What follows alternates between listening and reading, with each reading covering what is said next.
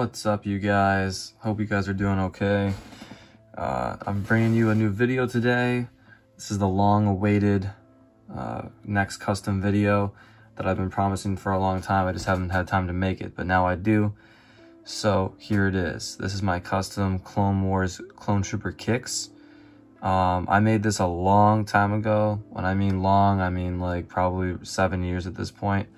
These are this was some of the first batch of customs I ever made uh, with the five main clones from the Umbara arc, which I will be doing uh, separate reviews for each one because I've already done my two reviews of my just my regular clone troopers from each legion that I did, the 212 and the 501st. But now these will be the five 501st clone troopers from the Umbara arc and many other uh, episodes from the Clone Wars. But to, to kick it all off, we're going to start with Clone Trooper Kix, the medic. So I'm just going to get a closer look at this guy.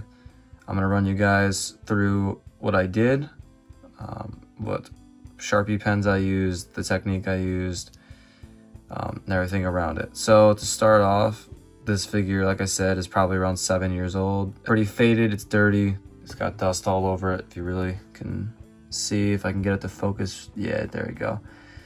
And the reason why that is, is because I've covered this in other videos, but it's because of the clear gloss spray paint to seal the paint on to the, the figure part, so you can't really scratch it off. It still scratches off um, the other ones, but for some reason, these first five that I did, I think I oversprayed them, so they really don't come off, which is fine, but obviously you can see all the collection of dust that gets on this guy. But I gotta say, this figure looks amazing. Like, for my first ones ever, I think these are still probably my best that I've done. But I, I don't know. This design on his chest was very, very hard to do. It's like super intricate and it wraps all the way around to his back. So it's very fine line work on the helmet piece as well. Ridge of his helmet. Very cool. And then he's got one like random uh, rogue blue band just around his um, his right leg. So I couldn't do at the time I couldn't do the like the real um, medic logo in like Star Wars in general that you see on all like the stuff in the movie and stuff like that.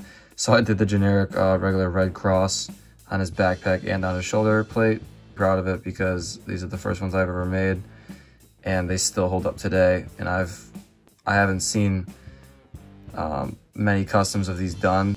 This is a basic overview of the figure. Um, there's not much else to say besides, you know, it took a long time to do, you know, but I gotta say, if you're interested in making customs, I think you guys should. I, you know, I've noticed a lot of uh, people commenting on the videos. You know, if you feel like, you know, you like them, just get into it. You know, you just gotta try. I just did it randomly and I got into it. And ever since then, I've been going strong on it. So it's, uh, it's been cool. But now I'm gonna run you through uh, what like paint I used. So it's the same method. I used the blue uh, Sharpie, I don't know what that is, the, the blue Sharpie fine point oil based pen. Um, sounds like a spray paint uh, can. And I use the red one for the crosses and stuff like that. So yeah, guys, I'll just, this is just a showcase and small overview of what the clone is. This is just a regular phase two Clone Wars Trooper. Um, nothing special about him but a lot cooler now he's a custom. So that's the video, guys. Uh, feel free to leave a comment if you liked it. Subscribe if you're new. All that good stuff. But I will be doing the rest of them. Until then, guys, I'll see you later and peace out.